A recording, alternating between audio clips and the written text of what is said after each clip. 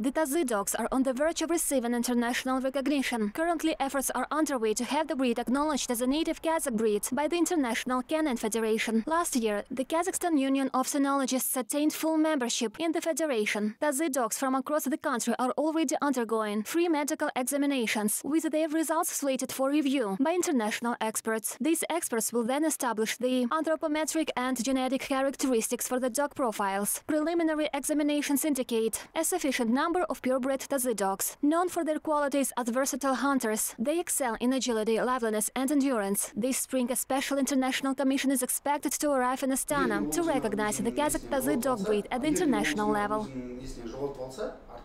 мамыр айында 25-26 on the 25th and 26th of May, we are planning to host an international exposition at the expo venue in Astana. As part of this event, there will be a special exhibition showcasing the Kazakh Tazy dog breed, with a special commission involved. This is a key requirement. Following the exhibition, the commission will provide its assessment. Subsequently, the FCI will make a decision based on this assessment.